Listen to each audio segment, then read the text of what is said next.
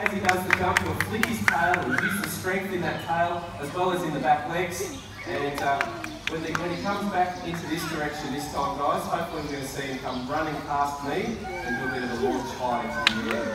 So keep your eyes on high here, guys. If we can time this, makes a little bit of an extra special timing. Two pieces here, and keep your eyes on high, guys. As he runs towards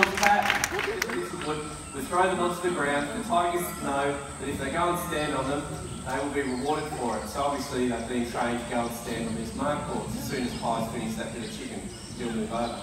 You can see Cedar over here, standing patiently, waiting. So in this position right now, if we need to, we potentially could take the tiger's temperature, we can take a blood sample, we can give them the yearly vaccinations. In the past, we've even done ultrasounds and x-rays on tigers whilst they're awake and alert. So the benefit here is that it's stress-free for the tigers, virtually stress-free for us as well, and the tiger is positively rewarded for it.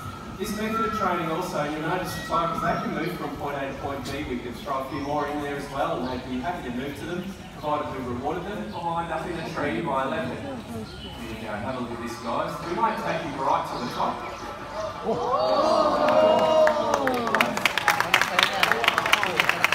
So this is the behaviour I was mentioning, guys. There's absolutely no way of trying to climb their tree without his claws. All of our tigers have all of their claws. And you can see him using his tail to keep his balance. And there we go. Let's give him another big round of applause, guys. Excellent. Now we're just going to get Kai involved. Alright, so what you'll see guys, we'll take him to the back of the big logs over here, and then we'll sit him down, and then we'll ask him to run forward. And when you guys yell jump, hopefully, he'll be flying through the air.